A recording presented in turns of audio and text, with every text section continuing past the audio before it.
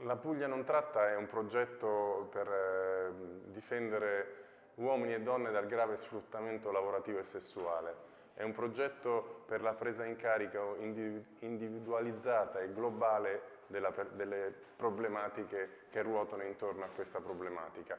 Il grave sfruttamento lavorativo e sessuale è un gravissimo reato eh, che viene anche declinato come riduzione in schiavitù. La Regione Puglia da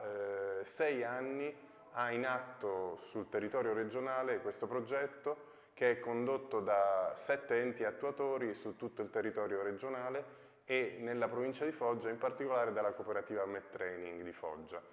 E, eh, noi abbiamo servizi eh, di, eh, residenziali di, per ospitare le, le, persone vittime di tratta, abbiamo otto posti letto e eh, inoltre offriamo servizi di eh, consulenza legale, psicologica, lavorativa,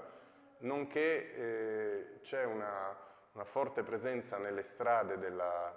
della, provincia di Foggia, sulle statali che vanno verso San Severo, verso Chieuti, verso Manfredonia e verso Cerignola, per, eh, con un equipaggio composto da, da donne che incontrano le, le, ragazze che si prostituiscono sulla, sulle strade. L'unità di strada del progetto La Puglia non tratta si occupa prevalentemente di eh, riduzione del danno in strada.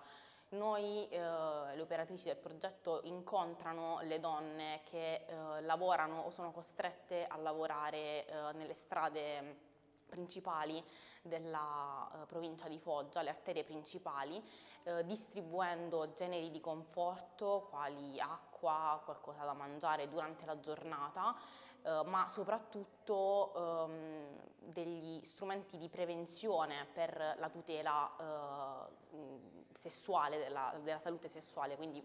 in particolar modo mh, profilattici, Uh, gel disinfettante, uh, guanti durante comunque uh, il periodo della pandemia, quindi anche al momento attuale anche le mascherine.